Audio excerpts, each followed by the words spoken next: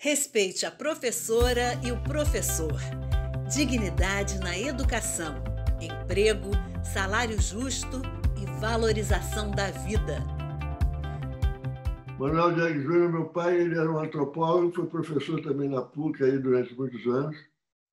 E era uma pessoa muito doce, muito suave, muito, mas os filhos ele era muito duro. Fazia a gente ler, fazia a gente aprender, dizia o que tinha que estudar, o que não tinha que estudar, tomava conta do que, dos resultados do colégio. Né?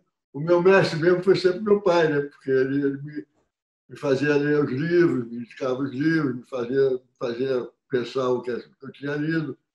Ele, por exemplo, ele tinha uma mania que ele saía, ele, ele saía de manhã para trabalhar, me dava um livro e me dava ler um capítulo, ou dois capítulos, ou o que for. E quando, eu cheguei, quando ele chegasse de volta para jantar, eu tinha que dizer a ele que eu tinha, o que, que eu tinha lido. Né? Então era uma dupla responsabilidade, porque não só eu tinha que ler, como eu tinha que também interpretar o que eu tinha lido, né? tinha que dizer o que eu tinha lido. Então isso foi muito importante para mim, foi muito, foi muito. Eu achava chato, ficava danado da vida, mas eu reconheço que foi, foi muito importante. Então, por exemplo, minha formação literária eu devo totalmente a isso, porque eu, com 10 anos de idade, eu já estava lendo Jorge Amado, Machado de Assis, enfim, o que pintava, né? E, sobretudo, literatura brasileira. Meu pai conhecia bem literatura brasileira. Meu pai, aliás, durante uma certa época, tinha até uma certa bronca, porque eu dizia, pô, meu pai não cuida da minha vida, só cuida da minha cabeça, né? Porque ele só cuidava mesmo da literatura, do, do que eu tinha lido, do que eu não tinha lido, o que era importante ler, o que não era importante ler. Nunca me perguntou sobre minhas namoradas, sobre se eu estava gostando de jogar futebol. Não teve isso, não. Era, era só a parte cultural mesmo. Né? Tem uma coisa que eu. Gente Eu sou formado em Direito, né? eu estudei na PUC de Direito, por causa dele. Porque quando eu acabei o, o eu já, o, é, o o colegial naquela época, né? eu já sabia que eu ia ser, fazer qualquer coisa, eu ia ser ou jornalista ou cineasta, não tinha outro jeito, né? Eu fiz, eu fiz o direito pra, de propósito para dar um, um, diploma a ele de presente. Entendeu? Eu fiz cinco anos, eu dei ele um diploma de presente, foi o meu, meu diploma, né?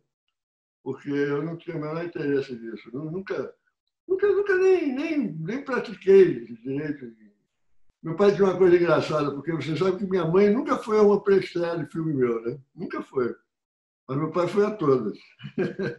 foi a todas e me comentava e falava, coisa e tal. Ele me falava dos filmes, ele me dizia o que ele tinha gostado, o que ele não tinha gostado. Ele era muito atencioso, muito atencioso. Meu pai nunca se interessou por cinema. Eu nunca vi meu pai interessado em cinema. Nunca vi pela produção, pelas coisas, nada.